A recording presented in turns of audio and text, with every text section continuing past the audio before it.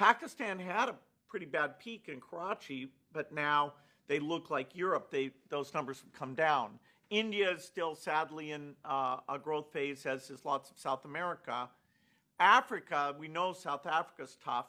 The rest of Africa, we've been funding a lot of testing there because uh, it's a bit opaque what goes on, and, and the lungs in Africa, you're more exposed to indoor and outdoor particulate.